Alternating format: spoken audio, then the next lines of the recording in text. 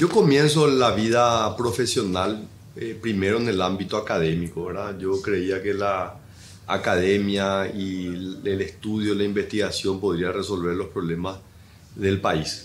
Y me di cuenta que tenía sus limitaciones. Después eh, comencé a trabajar y tenía el sueño de poder eh, ser protagonista en el país desde la construcción de políticas públicas. Trabajé en el Banco Central. Llegué a ser director del Banco Central y me di cuenta que eh, a pesar de todo el poder que puede tener un miembro del directorio, tiene sus limitaciones en lo que puede hacer. Y después me fui como ministro de Hacienda. Y el ministro de Hacienda aparentemente tiene muchísimo poder el jefe del equipo económico, es el presidente del Consejo de Empresas Públicas, eh, administra el presupuesto del Estado, dirige las políticas económicas, pero tiene limitaciones. Y las limitaciones son las que impone el soberano. ¿Y quién es el soberano? Es el pueblo que eh, transfiere el poder a las personas a través del voto. Y eso me motivó a mí a, involucrarme en la política partidaria, en, la construcción de un Paraguay mejor desde la política. Y me candidato en el 2017, salí a recorrer una campaña de, cinco meses muy intensa que eh, perdí en esa distancia. Perdí y creo que las derrotas son excelente enseñanza, hay muchísima enseñanza y la gran enseñanza que yo aprendí ahí fue que la construcción de un país no está limitada a un periodo de tiempo, es un esfuerzo a lo largo de una vida y dije, bueno, eh, se cierra un capítulo, seguiré trabajando en materia de política pública. Yo nunca viví de la política, así que volví a trabajar de mi, vivir de mi trabajo. Y me involucré mucho en, diferentes ámbitos de la política. Asesoré a las comisiones del, del, Parlamento en temas económicos. Me involucré también en la vida partidaria, que no tenía esa experiencia, yo no tenía experiencia en la vida partidaria. Y después de las elecciones municipales, eh, sin pensar que se podría dar nuevamente la oportunidad, se presenta en base a las mediciones que ya veníamos haciendo, que estaba muy bien posicionado, que quedé muy bien posicionado de las internas del 2017. Entonces eh, me motivó nuevamente la posibilidad de, ser candidato y llevar a la práctica toda esa experiencia, ese conocimiento que había acumulado y obviamente el paso del tiempo y la experiencia como probablemente la mejor escuela. Así que hoy me encuentro con eh, más experiencia, con una mayor motivación y obviamente también el sufrimiento de haber visto cuatro años de un deterioro económico, ¿verdad? más allá de la problemática de la pandemia, más allá de la sequía o las inundaciones, varios problemas en la gestión, ¿verdad? que es el área donde yo más experiencia tengo. Así que me motiva hoy eh, recuperar el tiempo perdido de estos cuatro años y, y poder implementar todo lo que estoy seguro que podemos implementar desde la presidencia de la República. Sí, esta es la primera elección donde tenemos un nuevo, una nueva ley de financiamiento político, ¿verdad? Que, que, se ha implementado ya en las elecciones municipales, ahora va a ser la primera elección general, o sea, nacional, que se va a implementar. Entonces, eso obviamente requiere todo un procedimiento y unos trámites que nosotros estamos cumpliendo a rajatabla. ¿Cómo se financia una campaña política? Principalmente dentro del Partido Colorado y es la sumatoria de esfuerzos individuales. El Movimiento Honor Colorado tiene cerca de 33 mil candidaturas. 33 mil candidaturas. Entonces, eh, la sumatoria de esos esfuerzos individuales es lo que permite a un movimiento tan grande, y lo mismo le pasa al movimiento de Fuerza Republicana, al movimiento oficialismo, de poder movilizar un esfuerzo que para otros espacios independientes es imposible prácticamente, porque sí requiere un costo individual muy grande. Entonces, la gran fortaleza que tiene el Partido Colorado es la sumatoria de pequeños esfuerzos individuales que en el agregado hacen una diferencia tremenda. Entonces, cada candidato a miembro de seccional, convencional, presidente de seccional, diputado titular, diputado suplente, senador titular, senador suplente, convencional titular, convencional suplente, gobernadores, miembros de juntas departamentales, cada uno de ellos va a tener que informar cuáles van a ser sus gastos individuales y eso es lo que va a ser la sumatoria de un gasto de campaña, pero ya no una campaña financiada o solventada por una sola persona. Entonces, mañana, por ejemplo, yo me voy a eh, Canindeyú, ¿verdad? Y ahí hay un candidato a gobernador, hay cuatro candidatos a diputados, suplentes, titulares, candidato al Senado, hay miembros. De... Entonces, cada uno de ellos son los encargados de realizar. Nosotros también eh, creemos que la metodología hoy en la política ya no son más las grandes concentraciones, son las reuniones pequeñas que nosotros venimos realizando, lunes y martes en Capital, los miércoles y los jueves en el Departamento Central, y a partir de los viernes y los fines de semana ya recorriendo el, interior, ¿verdad? Pero si hay algo que, que ha hecho tanto el Partido Colorado, que es el único partido político que hoy mantiene una cuenta bancaria en el sistema bancario por la transparencia en el seguimiento de sus datos y lo mismo en la rendición de cuentas ante la justicia electoral. También del movimiento Honor Colorado hemos sido muy cuidadosos en informar y reportar todos los gastos que se hacen y asegurarnos que esto se haga de acuerdo a lo que establece la ley de la justicia electoral y todas las normativas. ¿Y hay un, costo estimado, ya sea para las últimas semanas o para el día de? Eh, imposible predecir eso, ¿verdad? Porque de vuelta va a determinar, no es el financiamiento de una persona, sino es la sumatoria de esfuerzos individuales de 32 mil candidatos que van a tener que llevar eh, la contabilidad de cada uno de sus gastos. Entonces realmente esto lo sabremos el día de mañana cuando se reporte a la justicia electoral cuánto fue el informe de cada uno de los candidatos. Bueno, pero eh, siempre se menciona y no, podemos dejar de preguntar ¿verdad? si es Horacio Cartes el principal financista. No. No va a ser Horacio No va a ser Horacio Cartes, definitivamente. Y no lo ha sido tampoco en, en el pasado, ¿verdad? Obviamente se individualiza él como líder del movimiento y también como una persona que es el mayor contribuyente del fisco, el, probablemente el mayor empleador que hay en el Paraguay en términos de generación de empleo, de inversión. Entonces, obviamente, con ese eh, caudal político y ese caudal económico, siempre se asume que él es el único, pero la realidad es que este es un esfuerzo que se sustenta sobre una sumatoria de esfuerzos individuales que en el colectivo es realmente enorme. Bueno, eh, ¿qué le diferencia usted del, del, oficialismo? ¿Qué le diferencia usted del, de Hugo Velázquez? ¿Qué, ¿Qué le diferencia también a los otros candidatos? de, lo que ofrece de verdad el oficialismo. Sí, la, la, verdad que no es fácil hablar de las virtudes de uno, ¿verdad? Pero si yo tuviese que decir cuáles son, eh, dónde yo creo que me diferencio, creo que yo me diferencio en tres elementos centrales, ¿verdad? Uno es la honestidad, una honestidad demostrada en el ejercicio de los cargos. He estado en la administración pública casi 20 años, eh, tanto a nivel nacional como a nivel internacional Jamás se ha cuestionado mi accionar, ninguna de las decisiones, nunca se ha puesto en tela de juicio la honestidad eh, en el ejercicio de los cargos de enorme relevancia. El segundo elemento es la idoneidad, ¿verdad? Soy una persona que me formé, me preparé, tengo la experiencia, o sea, nadie puede dudar de que hoy soy por lejos el candidato a presidente de la República con más experiencia en el ámbito de la gestión pública, probablemente en la historia del Paraguay, ¿verdad? A lo largo de eh, casi 215 años de, historia e independencia del Paraguay. Probablemente nunca antes un candidato a presidente de la República había estado tan preparado y con tanta experiencia en el ámbito de la gestión pública, que es la responsabilidad del presidente de la República. Y el tercer elemento, eh, creo que no hay ninguna duda sobre el patriotismo, las ganas de servir a mi país. Me tocó irme a trabajar al exterior, renuncié a, trabajar al exterior para venir a servir a mi país. Así que creo que en ese sentido he demostrado a lo largo de los años también eh, un, sentido de pertenencia y un amor a la patria y al país, que es lo que hoy me permite presentarme ante el electorado colorado nuevamente, primero ante los 486 mil colorados que ya me votaron hace cinco años, y hoy salir a convencer al resto de probablemente los 2 millones de colorados que o, no votaron o son nuevos colorados que se han afiliado en los últimos años. Y eh, plantearles eh, este proyecto de decirles realmente en el Paraguay podemos estar mejor y que yo tengo todas las condiciones para hacer eso posible. En cuanto a lo que se analizó ayer, que tiene que ver con, la eh, con el proyecto que pretendía poner a la CEPRELAT como eh, contralor también de, de, los, de, de, las tabacaleras y los clubes deportivos. Finalmente se le sacó de escena a la CEPRELAT en este, en este proyecto y se le puso al Ministerio de Industria y Comercio. ¿Eso, ¿Usted eh, coincide con este proyecto, con, con, con lo que se... Eh, con lo que se decidió. Sí.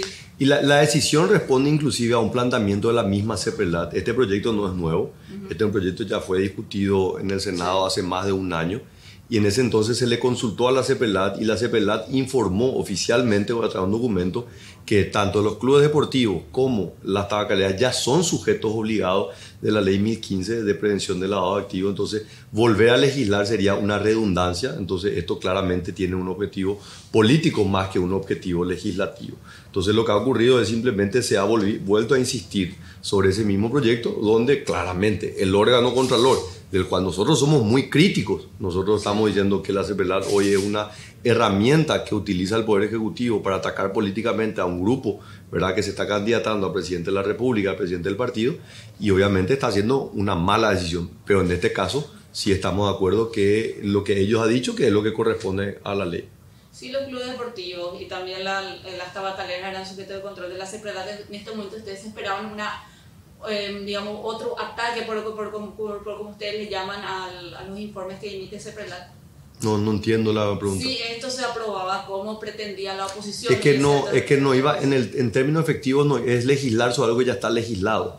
No representa absolutamente ningún cambio. Tanto las tabacaleras como los clubes deportivos hoy ya están reportando a la CEPRELAT, hoy ya hacen sus reportes de operaciones, hoy ya están sujetos obligados que son controlados a través de la ley 1015. En realidad esto es simplemente era generar un hecho político legislando sobre algo que ya está legislado.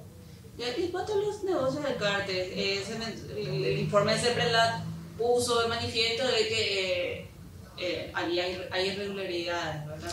Primero que nada, yo no soy ni abogado del señor Cartes ni trabajo en la empresa del señor Cartes, ¿verdad? Tanto el señor José Ortiz ha aclarado, pero en reiteradas oportunidades, todas las acusaciones en el ámbito empresarial. Y en el ámbito judicial, el abogado Pedro eh, Ovelar también ha explicado absolutamente todo, ha desmentido todas las acusaciones, ¿verdad? Así que por ese sentido, yo soy candidato a presidente de la República, ¿verdad? En, este, en esta entrevista no estoy ni como abogado ni como ejecutivo de las empresas. En cuanto a lo, a lo que eh, se informó recientemente sobre el avión misterioso avión venezolano con pasajeros iraníes. ¿Qué opinión usted tiene?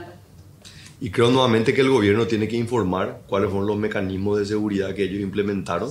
Acá estamos viendo unas acusaciones entre el director de la INAC y el funcionario que finalmente le reportó sobre la presencia de estas personas, qué fue lo que ocurrió. Y bueno, yo creo que ellos tienen que dar las aclaraciones y las explicaciones, ¿verdad? De que estas personas que obviamente tenían vínculos con grupos terroristas que se hayan, hayan sido recibidas y, sin ningún problema llegado y salido del Paraguay.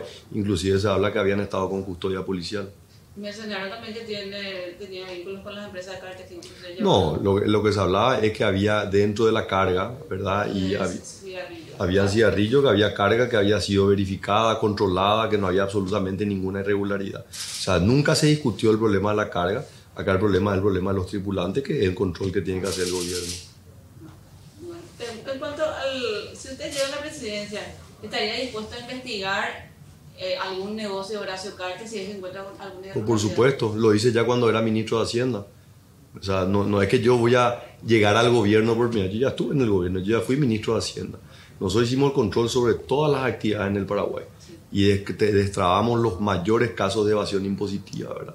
Acá lo que hay es un montaje político, ¿verdad? Sobre una figura política, un candidato a presidente de un partido y un candidato a presidente de la República. En la realidad, hace más de 10 años de la incursión del señor Carte en, la arena política, él ha sido investigado, él ha sido atacado y ha sido cuestionado y nunca se ha podido encontrar nada porque en la realidad estamos enfrente del mayor contribuyente del fisco, uno de los mayores generadores de empleo y una de las fuerzas económicas más grandes del Paraguay. En, cuanto a la lista del Congreso, hubo muchas eh, críticas, incluso burlas en las redes sociales por cómo se le colocó a Lea Jiménez, la persona técnica, usted, en el número 22 de la lista. ¿Por qué se le puso tan abajo? Mira, nosotros tenemos una lista de 45 candidatos y sobre el nuevo mecanismo de voto preferencial, ya no la, la lista sábana, los 45 salen del mismo punto de partida en realidad la ubicación se vuelve prácticamente irrelevante entre el 1 o el número 45. El número 45, en el último lugar, está una persona como Gustavo Leite. Fue cinco años ministro de Industria y Comercio, un profesional de primera línea y sin embargo en el último lugar fue, em, fue inclusive un pedido de él, ¿verdad? Así que creo que esto obviamente es parte también del cuestionamiento político de algunos medios, por supuesto, y también de nuestros adversarios políticos, pero nosotros no tenemos ninguna duda que tenemos por lejos la lista con las mejores personas, mujeres como Lea, mujeres como Alicia Pucheta, eh, mujeres como María José Argaña. Creo que son personas que tienen una enorme capacidad. Eh, la profesora Rosa Bella Cáceres también, una maestra jubilada con un servicio, eh, una vida de servicio al ámbito de la educación. Entonces creo que hay una figura, un número de figuras muy, pero muy importantes tanto del ámbito político, del ámbito económico, del ámbito social, cultural, ¿verdad? Ah, hay una mujer, ¿verdad?, que, que, ha trabajado durante años con el sector de las artesanías. Entonces creo que hay realmente eh, una, un abanico de opciones, ¿verdad?, muy amplio para que la ciudadanía finalmente elija a uno, porque solamente puede elegir a un candidato. Entonces claramente eh, el cuestionamiento sobre la posición de Lea era tratar de hacer mella sobre eh, la, la, posición que ella tiene, la cual ella está tremendamente agradecida y orgullosa de ser parte de la oferta electoral. Creo que ese es el objetivo. La ubicación podría haber sido interesante o importante en la lista sábana, la cual nosotros tuvimos, estamos en contra. Creo que en este sistema ella tiene tantas posibilidades como el número uno. Solamente en los primeros lugares se ubicaban los políticos. Y, y, porque son los que tienen hoy la mayor representación política. Bueno, finalmente nosotros estamos en una actividad política yo creo que nadie puede dudar los méritos que tiene una persona como Juan Carlos Baruja. Juan Carlos Baruja es el presidente del Consejo de Gobernadores, fue ministro de Agricultura y Ganadería, eh, anteriormente fue ya dos veces electo intendente municipal, una persona que tiene votos electorales y una persona de una altísima formación, es ingeniero civil. Eh, en el caso del senador Beto Velar, nadie puede, nadie puede cuestionar ya cerca de 20 años en el Parlamento, así que creo que así se va sumando una lista pero que está sumada la experiencia de actores políticos con actores nuevos también que están hoy enriqueciendo una oferta electoral muy amplia. ¿Y qué méritos tiene, por ejemplo, el gobernador Juan Carlos Vera investigado ahora por su gestión en la gobernación? el, el, Partido Colorado tiene, en las elecciones pasadas, de las 17 gobernaciones ganó 13. 13. Esas 13 de esos 13 gobernadores colorados, 10 están con el movimiento Honor Colorado. 10 de los 13. Los tres que no están son gobernadores muy pequeños que fueron electos por Honor Colorado, pero por conveniencias políticas fueron a eh, movimiento oficialista. Desde que esos gobernadores pasaron a fila del movimiento Honor Colorado han sido eh, cuestionados, atacados, ¿verdad? Nunca antes fueron cuestionados antes que pasen al movimiento Honor Colorado, ¿verdad? Entonces, claramente nosotros estamos también siendo víctimas de un ataque político por parte del gobierno para tratar de desprestigiar a todos los actores y gobernadores que han pasado al movimiento Honor Colorado. Entonces, el caso de Juan Carlos Vera es un gobernador, fue electo por Añetete en el 2018 y tomó la decisión de venir a trabajar con nosotros y es candidato a gobernador. Nuevamente, el electorado paraguayo va a tener la posibilidad, dentro de los 45 senadores, votarle a Juan Carlos Vera y si no, va a poder votarle a cualquiera de los otros. Si él, tiene, si él tiene cuentas con la justicia, él va a tener que rendir cuentas con la justicia. No es responsabilidad ni mía ni del movimiento. Entonces creo que nosotros tenemos una decisión muy clara. Nosotros no avalamos las inconductas de nadie. Nosotros no somos defensores legales absolutamente de nadie. Nosotros le damos la oportunidad siempre y cuando están legalmente habilitados, que es el caso del gobernador Juan Carlos Vera, él está legalmente habilitado. Y bueno, él va a tener que salir a convencer al electorado, ¿verdad? Tanto de los ataques mediáticos como obviamente también de los ataques jurídicos del recibo. La misma pregunta que hago con respecto a Erico Galeano que... La misma respuesta, la misma respuesta. Él tiene la responsabilidad de defenderse tanto en el ámbito político, porque él está enfrentando un, desafío político muy importante. Gran parte de los ataques vienen de su adversario, que fue anteriormente su aliado eh, eterno, el senador Derli Osorio, que obviamente era el soporte principal de Derli Osorio, Erico Galeano entonces él le viene atacando. Tiene que enfrentar el desafío político, él tiene que enfrentar el desafío electoral, el desafío mediático y por supuesto también el desafío jurídico. Entonces él está eh, plenamente convencido que él va a poder eh, aclarar todas las dudas que tengan en el ámbito judicial. En cuanto a la Fiscalía General del Estado, siempre se le vincula con este grupo político. ¿Usted qué opina al respecto? Creo que no. Creo que la Fiscalía ha hecho un trabajo ecuánime. Yo creo que la Fiscalía ha hecho un trabajo donde ha eh, perseguido, donde ha condenado actores muy importantes del movimiento Honor Colorado. Acá no podemos eh, esconder lo que todo el mundo sabe, pero obviamente tampoco ha estado al servicio de un oficialismo que está dispuesto a utilizar toda la estructura del gobierno para atacar políticamente a su adversario, ¿verdad? Nosotros hemos sostenido políticamente a la fiscal general de Estado cuando fue atacada por parte del gobierno para pedir su destitución y, justamente atacando a todos los fiscales, entre ellos Marcelo Pecci, que cuando fue asesinado justamente el mismo gobierno salió a solidarizarse cuando un mes atrás le estaba eh, atacando. Así que creo que eh, la ciudadanía se da cuenta de que es parte de la carrera electoral y que es parte realmente de argumentos verdaderos. En cuanto a Mauricio Espinela, usted presentó una denuncia en su contra por haber eh, divulgado montos desde sus, los pagos que, realizó el Grupo Cartes. Eh, ¿Por qué la, denuncia? Porque eh, no, no, no, le pudimos consultar bien, ¿verdad? ¿Por qué la denuncia? Y no sé, porque tiene que ver con la transparencia también un poco lo que, digamos, usted está atacando. No digo que, que esté bien que Mauricio Espinola haya publicado, sino que eh, la gente se enteró a través de eso. La, la, la denuncia, la denuncia en realidad no es a Mauricio Espínola, la denuncia es para identificar qué institución pública filtró datos que una ley protege. Le protege a todos los ciudadanos, ¿verdad? Que están en el ámbito privado. Yo soy un actor eh, político, soy un actor público, pero soy un ciudadano que hay leyes que permiten cuidar mi información, como cuidan la información eh, tuya como periodista, ¿verdad?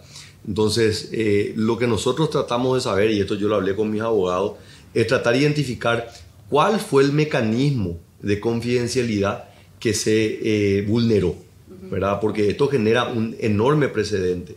Acá de vuelta se utilizó información clasificada, privada, que el Estado tiene, ¿verdad? Y que tiene que precautelar, y las leyes le obligan a los funcionarios públicos a precautelar, y se utilizó con un fin político electoral. Eh, los ingresos son ingresos reales, yo nunca los negué. Los ingresos no los paga el Grupo Cartes, los ingresos los recibo a través de mi trabajo en una institución bancaria, son pagos legales. Parte del Grupo Cartes, por eso mencioné. Claro, yo sé, pero es, de una institución bancaria donde yo presto mis servicios, donde tengo el conocimiento, la experiencia, la formación y todas las condiciones para desempeñar ese trabajo. Entonces, se utilizó esa información, que de vuelta es una información que está eh, custodiada dentro del ámbito privado y se ha utilizado con un fin eh, político electoral, que hoy me toca a mí, el día de mañana puede ser otro, el día de mañana puede ser un actor de la oposición, el día de mañana puede ser un actor social, puede ser otro actor. Entonces yo creo que más que la, la, la información de Santiago, lo que nosotros queremos determinar cuál fue el procedimiento que se vulneró. Porque ese funcionario que vulneró la información de Santiago, el día de mañana puede vulnerar también la información para otro actor político.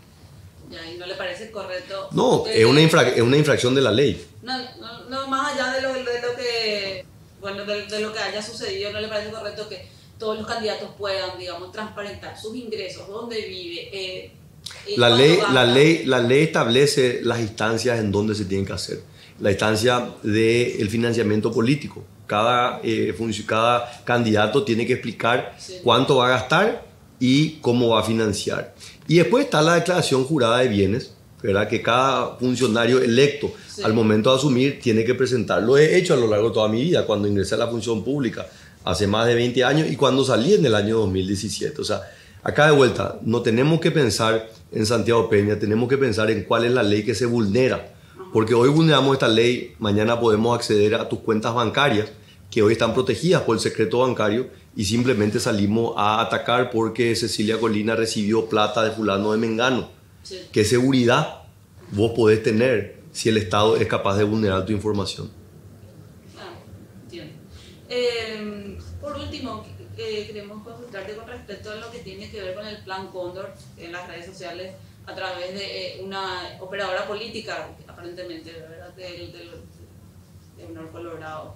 Eh, ¿Usted está de acuerdo con esas expresiones de, volver a reactivar? Seguí, seguí, seguí, yo creo que ella eh, aclaró suficientemente que no fue eso lo que dijo, ¿verdad? Ella no estaba proponiendo, ella simplemente estaba relatando lo que ocurrió. Yo creo que son posiciones individuales, no es mi posición, claramente no es mi posición. Así que no, pero aparte, o sea, nosotros estamos, estás hablando de un adherente que escribe en la red social que cada uno puede poner lo que quiera, o sea, escuchamos tantas cosas a favor y en contra, así que, pero eh, entiendo que ya fue ampliamente aclarado que, que, no fue eso lo que ella estaba promoviendo un plan Cóndor, así que creo que nadie está planteando eso. Pero usted no, pro- eh, no comulga con las ideas de, lo, de lo que fue la dictadura. Pero por supuesto que no, yo siempre dije soy, yo soy un, Sí. eh, No, eh, un- yo soy un heredero de la democracia. Y tenemos varios herederos de la dictadura.